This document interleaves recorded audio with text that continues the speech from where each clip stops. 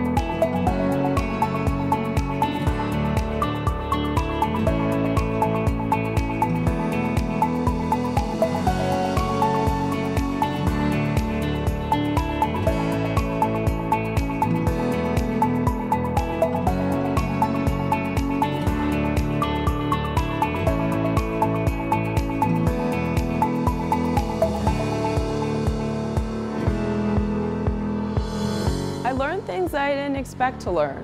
I think my greatest takeaway from this experience has been collaboration and collaboration with people who are different and how to do it successfully and come up with a good result.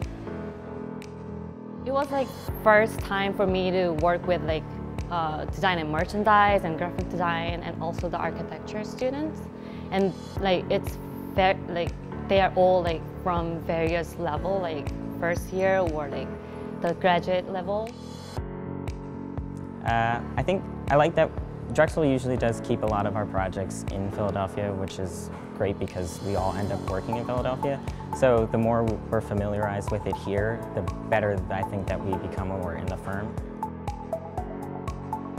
Yeah, I mean, Philadelphia has a lot of potential. There's a lot of different cultures here and who can all combine and together and really unify. And so these sort of redesign projects that attempt to create, instead of just passageways, spaces where a community can collaborate and be together and dance or talk or eat. And so it's really, it's really something special that could change the community just in little areas and bring points for people to really bond.